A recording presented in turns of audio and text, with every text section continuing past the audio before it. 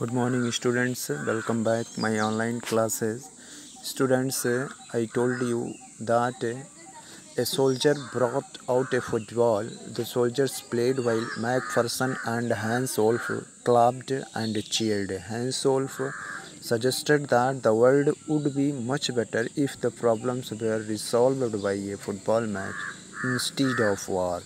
So students see next paragraph Hmm.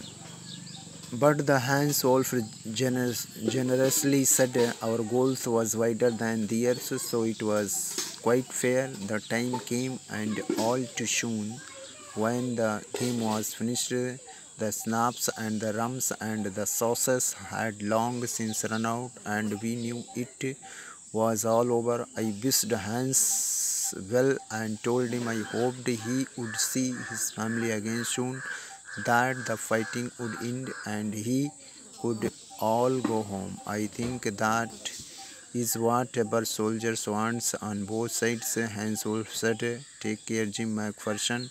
I shall never forget this moment, nor you. He saluted and walked away from the, me slowly. Unwillingly, I felt he turned to wave just once and then become one of the hundreds of grey coated men drifting back towards the trenches.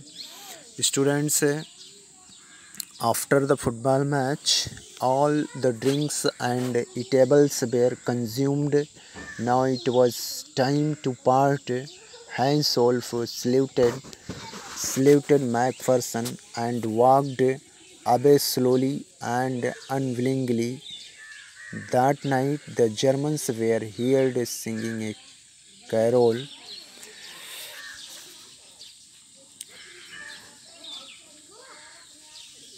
Students eh,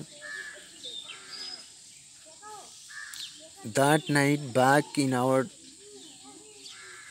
dots eh, we heard them singing a carol and singing it quite beautifully. It was still a natured silent night. Our boys gave them a rousing chorus of While Shepherds Watched. We exchanged carols for a while and then we all fell silent. We had our time of peace and goodwill, a time I will treasure as long as I live. Students, I told you that after that the English soldiers replied with a rousing chorus of another carol. They exchanged carols for a while and then it was all silence. Macpherson wrote in his letter that he would treasure those moments all his life. Dearest Connie, by Christmas time next year, this war will be nothing but a distant and a troubled memory. I know from all that happened today how much both armies long for peace. We shall be together again soon. I am sure of it. Mike Macpherson ended the letter hoping that the war would end soon. Both armies longed for peace and he was sure they would be together again. In this way, he finished, I mean to say, Jim Macpherson finished his letter. The students, the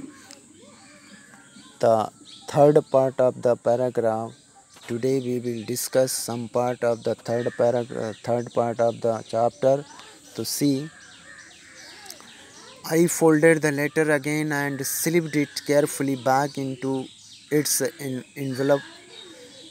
So after the reading the letter, the author again slipped, folded it carefully, and he kept it into its envelope.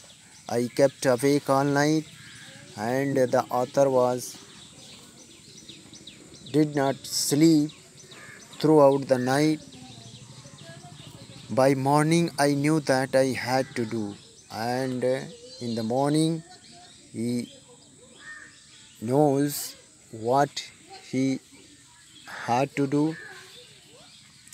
I drove into Bridport just a few miles away. I asked a boy walking his dog where Copper Beeches was. House number 12 turned out to be nothing but a burned house cell, the roof gaping, the windows boarded up. I knocked at the house next door and asked if anyone knew the whereabouts of a Mrs. Macpherson, oh yes, said the old man. In this, in his sleepers, he knew her well. A lovely old lady, he told me, a bit module headed, but at her age she was entitled to be, was not she? A hundred and one year old, she had been in the house when it caught fire. No one really knew how the fire had started, but it could well have been candles. She used candles rather than electricity because she always thought electricity was too expensive. The fireman had got her out just in time. She was in a nursing home now, he told me.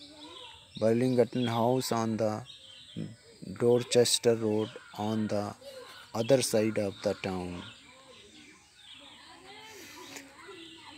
The author went to the having read the letter students having read the letter the author put it back into the envelope he decided to give the letter back to whom it belonged that uh, the address was bridport dorset so he drove to the place the house number 12 turned out to be a burnt out cell, it was found that Mrs. Macpherson was in the house when it caught fire.